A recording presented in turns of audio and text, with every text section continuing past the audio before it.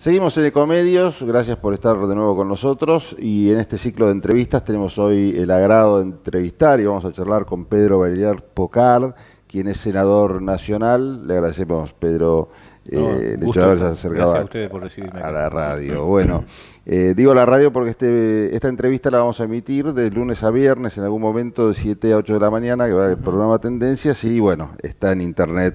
Y vamos a hablar un poco de lo que está pasando y lo que ha pasado después de las pasos.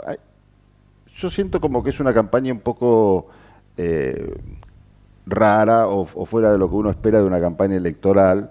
Estamos a, pocos días de la, de la elección y sin embargo no se nota ese clima de campaña donde se escuchan, por ejemplo, como es típico, muchas promesas. El caso de Alberto Fernández quizás con esta idea del teorema de Baglini, ¿no? que está más cerca del poder, lo ataca la responsabilidad y no quiere prometer demasiado. Y Macri, si se pone a prometer en este momento, por más que ha hecho algunos anuncios, quizás tampoco caen del todo bien, ¿no? En función del resultado, no solo electoral, sino también de su gestión de, de gobierno. ¿Cómo lo está viendo usted? No, yo creo que este, eh, primero, la, gran interpretación que nosotros le damos a las pasos, ¿no? Las pasos de una interna. Sí. Lo que creo que el defecto que existe en la legislación de que al no haber competencia eh, se hace lo mismo el acto electoral. Claro, este competencia real no interna. Hubo ninguna fórmula que compitiera contra otra. Entonces necesariamente se convierte en competencia entre distintas fórmulas, porque así fue. Lo que yo creo es que en el sí, en el discurso del, candidato opositor, digamos, lo que se nota es una moderación porque también se ven muchos sectores eh, de poder, no de poder del Estado, sino de poder, ¿no es cierto? que reclaman cosas y bueno, inclusive yo creo que gran parte de hasta los movimientos sociales, gran parte del conflicto que vimos las últimas semanas no tenían que ver con reclamos al gobierno nacional que tiene una mesa de negociación permanente y le ha dado todo lo que, lo que se ha pedido, sino conflictos entre ellos, porque hay sectores que se sienten desplazados de la futura administración. A una interna. Exacto, y eso se ve también, entonces creo que el candidato tiene que necesariamente ser moderado. Y en el caso del, del candidato y presidente de la Nación, el ingeniero Macri, evidentemente está atendiendo aquellos reclamos que eh, mucha gente priorizó por sobre los logros. Yo soy un convencido, y hablo por la experiencia de, mi provincia, de que hubieron muchos logros, pero también cosas que evidentemente estaban en falta, algunos las veíamos más que otros.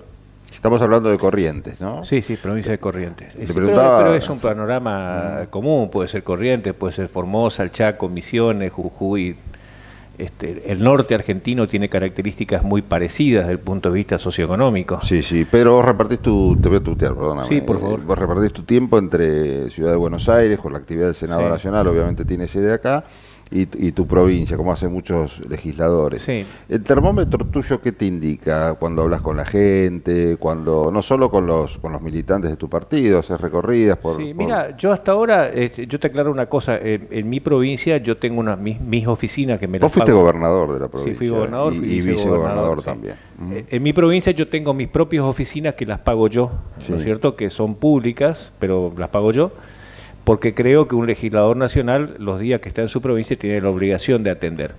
La verdad es que yo pertenezco a una alianza que gobierna la provincia y que le está yendo muy bien, que tiene un nivel de aceptación en la ciudadanía de más del 70%, al punto tal de que las elecciones legislativas que fueron el 2 de junio ganamos por 40 puntos y sacamos 61 a 19. Un fenómeno local. Sí, por eso. Entonces el hecho de a mí, más allá de que soy un hombre que, tengo gozo de, gracias a Dios, del, del, respeto de un sector de la sociedad, un sector que creo, eh, trato de que sea importante, y pertenecer a una alianza que anda bien, entonces por ahí yo no, no, no, no, no cosecho muchos enojos, digamos, pero sí las, yo el hecho de tener mis instalaciones allá hace que yo dialogue y converse con mucha gente. Y podés percibir cosas.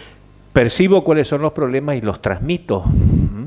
Por ejemplo, el tema costo de vida y cómo impacta en provincias donde gran parte de los ingresos de la mayoría de la gente va a comida.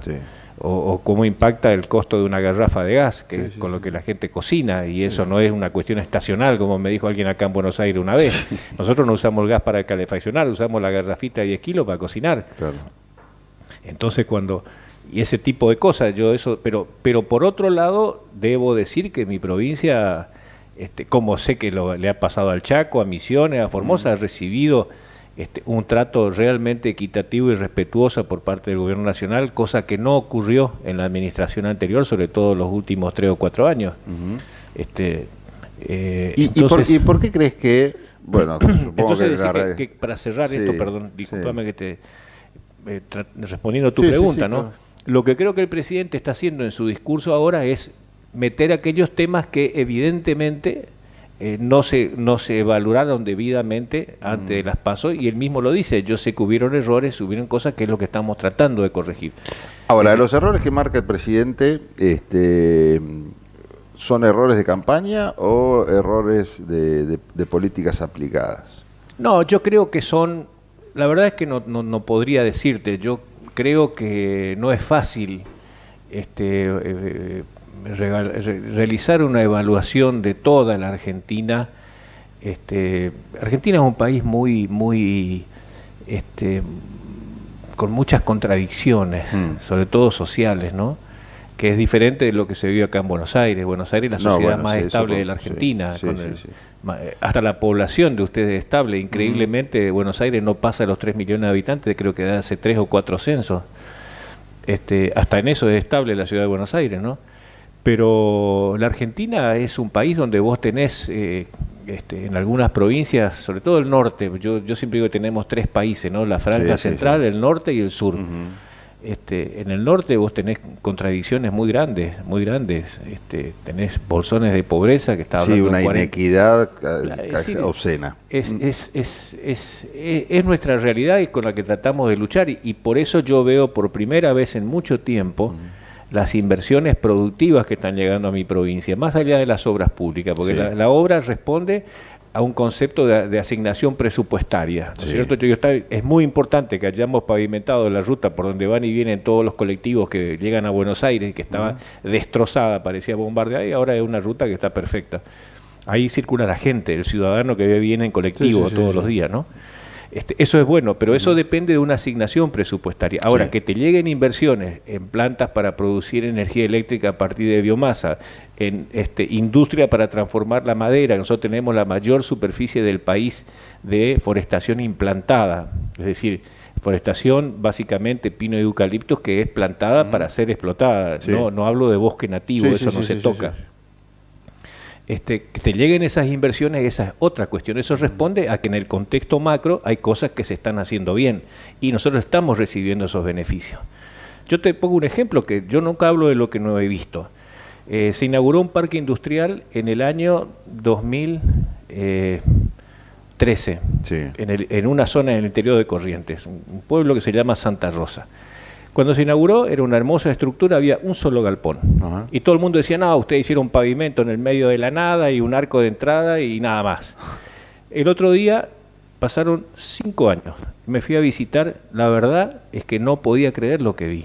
Por empezar, una, una, una planta de, de, energía a partir de biomasa, una inversión española de 60 millones de dólares, pero además la cantidad de, fábricas que se han ido instalando casi todas relacionadas con la eh, industria, maderera porque es una zona de, boscosa muy fuerte.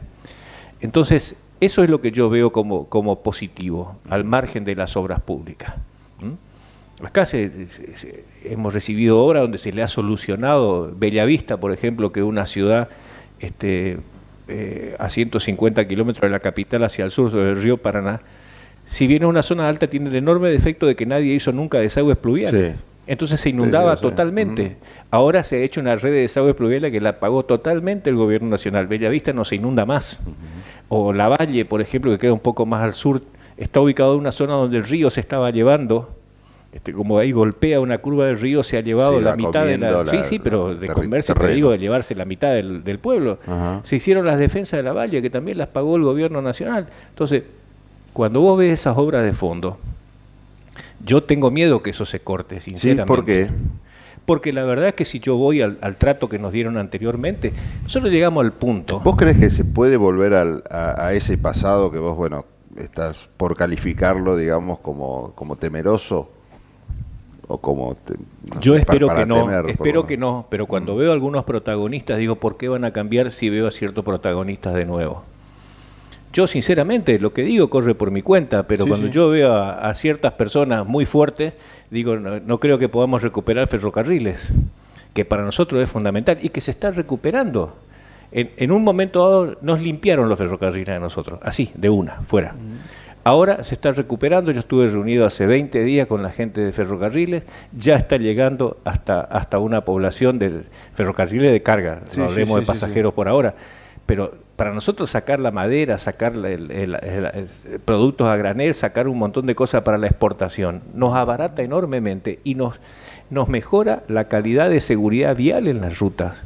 Que una de las cosas que pasó con el levantamiento, y esto lo hablábamos en off, sí que no se evaluó cuando se decía lo que perdía ferrocarriles, el costo que eso trajo aparejado ah, en las rutas y en el costo de vidas humanas, las tasas de accidentes de Argentina es feroz. Sí, bueno, cuando hablabas de rutas también hay que considerar eso, ¿no? Los accidentes que se evitan por Pero claro, la lógico. infraestructura en condiciones. Una provincia como la mía tiene alrededor más o menos de 200 muertos al año en accidentes de tránsito. Pero yo lo que, lo que me planteo y lo que veo también es que en una situación tan crítica como la Argentina, ¿a quién le sirve, por ejemplo, no continuar con las cosas que medianamente se han, se han hecho no sé, bien. Pero a quién le servían también no hacer nada en mi provincia. Mm. Entonces, es decir, eh, hay un viejo dicho, ¿no? Cuando uno se quemó con leche, ve la vaca y llora. Sí, sí, tal cual. Así. Yo te digo un ejemplo. Cuando se inauguró la última represa de, la última turbina de Yacyretá, la represa de Yacyretá queda en la provincia de Corrientes y el costo, el impacto ambiental y todo lo asumimos en la provincia de Corrientes, pues el acto se hizo en la provincia de Misiones. Todos los beneficios adicionales de todas las obras de Yacyretá se hicieron 100% en la provincia de Misiones. Y la única, esto publicado por la propia entidad binacional del lado argentino. ¿eh? y la única obra que se hizo en territorio correntino es la esclusa de navegación para favorecer a quién? A los barcos que vienen de Misiones. Entonces, a ese punto llegamos nosotros. Por eso es que eh, por lo menos vamos a hacer el esfuerzo de ganar en nuestra provincia. ¿Cómo, cómo ves que va a estar compuesta eh, el Congreso Nacional? ¿no? Que es un lugar que hay que prestarle mucha atención porque ahí radica un poco también la posibilidad que el Ejecutivo pueda avanzar, en todo caso o no, sin hacer una este, evaluación de valor si avanza bien o no. Eh, yo creo que podemos, si eh, ahí van a haber dos desafíos, ¿no? Primero, si la elección del 27 de octubre es una elección eh, medianamente pareja, aunque necesariamente va a haber un ganador y otro que no lo sea, se puede lograr una representación parlamentaria interesante porque cambiemos, o junto por el cambio como se llama ahora, arriesga la mitad menos buena que tiene, por ejemplo, la Cámara de Diputados. Es decir, la mejor mitad, que fue la de 2017, esa sigue. Claro. En cantidad. Siempre hablo de la cantidad, no de la calidad, ¿no? por favor. me refiero a la cantidad. Se va a ganar unos este, cuantos enemigos. No, no, no, no, Me refiero a la cantidad en cuanto. La mayor presencia no es la que se pone en juego. La, mitad más grande, digamos así, para no decir. La mitad más grande no es la que se pone en juego. Se pone en juego la mitad más chica. Y en el Senado junto por el cambio arriesga, pone solamente cuatro senadores en juego. Eh, quinto, si consideramos a la senadora de Tierra del Fuego, serían cinco. De, este, de un tercio de 72 es 26 senadores. 24. Eh, eh, de 24. Es decir, 19 están a cargo de la, de la hoy oposición, de los que ponen en juego. Entonces, eh, según los números y considerando que, en el Senado se entra por la mayoría o por la minoría, este, necesariamente Cambiemos va a renovar esas, esas bancas y con posibilidad de incrementar, sobre todo el lado de la Unión Cívica Radical, en tres o cuatro bancas más. ¿Y cómo ves esa, esa conformación en cuanto al diálogo político? Porque yo me imagino un escenario complicado, ya sea por, por lo, que, lo que estás contando vos, o por la situación, simplemente con la foto que vemos actualmente, la situación está muy complicada, más allá de, la, de lo que haga o deje de hacer después el, futuro Poder Ejecutivo. ¿Cómo ves el diálogo entre esas fuerzas políticas, más o menos conformado de esta forma que te imaginas? Yo creo que si hay un Congreso equilibrado, se va a obligar al diálogo. No lo va a hacer por convicción un próximo gobierno. Es que, eh, estas cosas, este, no sé, eso yo no puedo juzgar, eso entra dentro de la de la de la, de la imaginación entra dentro de la esfera, privada de cada uno que yo ah. no puedo ni debo opinar mm. lo que sí creo es que un Congreso equilibrado necesariamente va a obligar a la negociación y a la búsqueda del acuerdo además de que eh, esto lo dije muchas veces el gobierno de Macri que debe ser el que tuvo menor nivel de representación parlamentaria numéricamente la menor representación desde que yo tengo uso de razón nosotros arrancamos con 12 de 72 senadores mm. y diputados creo que había, eh, no llegaba ni apenas superaba un tercio de la Cámara. Y, este, y hubo una oposición muy dura, muy dura, no solamente el kirchnerismo, hombres como Solana y compañía fueron opositores mm. este, durísimos, que nunca acompañaban nada. Y en cambio hubo una oposición razonable que a veces se oponía y se oponía con mucha firmeza, pero cuando se trataba de leyes que eran importantes para el país, este, eh, este daban, su votación, daban su, su, aprobación y salían. Previa negociación, se conversaba, venían los ministros, se buscaban acuerdos, se corregía lo que se podía corregir, pero finalmente la ley estaba. ¿Vos notás una, una polarización tan grande como había eh, cuando Macri competía contra Cristina, hoy en la competencia Macri y Alberto Fernández? Eh, por ahí eso tiene sus altibajos, ¿no? Yo por ahí veo un discurso sobre el, presidente mantiene su estilo de ser un, hombre que no agrede. Él tiene un estilo que no, es agresivo. En todo caso, por ahí un poco cuando hace críticas las, más bien las generaliza. El, candidato opositor a veces tiene ese estilo y a veces personaliza. ¿No es cierto? Por ahí se enoja y el otro día lo trató poco menos que de, traidor al presidente, no sé qué, por qué tema, decir, cuando le dijo usted entregó el país, qué sé yo, sí. Pero este, vamos a ver qué pasa con los debates presidenciales. Esto va a, va a estar muy interesante. Yo soy, yo creo que ese fue uno de los avances institucionales que hemos tenido en la Argentina, el debate presidencial obligatorio porque creo Tengo la sensación en este caso, como está dado, que no va a pasar absolutamente nada. No, no, pero, pero cada uno Ocho va a tener, candidatos No, bueno, pero cada uno va a tener que hablar. Eh, y ese es un derecho de la gente. Sí, sí, claro, no, sí, sí, siempre digo, que, que todo, todo el que se postula para un cargo público tiene que estar en condiciones de responder dos preguntas básicas, ¿no? ¿Qué y cómo? Es decir, ¿Qué piensa hacer y cómo lo piensa pagar? Sí. Es decir, el día que, que entendamos en la Argentina cómo se pagan, cómo se pueden pagar o cómo se deben pagar las cosas, vamos a empezar a entender la importancia de lo que es la corrupción y todo ese tipo de cosas. Por ahí mucha gente no, condena suficientemente la corrupción porque piensa que el dinero que se que se desvía viene, qué sé yo, de la estratosfera y no nos damos cuenta que es dinero de cada uno. Este... La gente yo noto que está así como tu termómetro este, te cuenta un poco qué es lo que, lo que pasa o piensa la gente en Corrientes yo veo que la gente está como muy preocupada, desanimada y descreída en la, en la política, ¿no? Algo que en realidad también sí podía este, ponerse los mismos calificativos en otras épocas del país. Pero particularmente ahora lo noto mucho más. Eh, ¿Vos qué mensaje le podés transmitir a la gente? ¿Qué es lo que te imaginás? ¿El país tiene alguna salida? Porque la verdad es que probamos con este, recetas de un tipo, de otro, y como que caemos siempre en este Lo que pasa es que yo sostengo, yo, mi opinión es que siempre nos falta sentarnos y determinar qué es lo que sirve qué es lo que no sirve. No hay nada, nada nuevo en el mundo. El mundo ya ha establecido cuáles son las, las, cosas que son útiles para el progreso, que en algún momento las Sentarnos son los partidos políticos. Sí, sí, por supuesto, por supuesto, los líderes eh, políticos, ¿no es cierto? Decir, bueno, señores, no discutamos más sobre este tema porque sabemos que esto es bueno, o no discutamos más sobre este tema porque sabemos que esto no funciona. Y vamos para allá, claro. claro, en, la medida, este país ya fue grande, no estamos hablando de una cosa, de una quimera que queremos construir y no. Argentina estuvo entre los 10 países. Esto, lo, repito hasta el cansancio. Nuestros abuelos o bisabuelos o tatarabuelos no vinieron acá porque eran masoquistas, vinieron porque eran los dos países que atraían inmigración del mundo. Eran Estados Unidos y la Argentina. y yo siempre cito como ejemplo: Argentina tiene descendencia, ascendencia española, portuguesa, francesa, italiana, eh, holandesa, belga, dinamarquesa.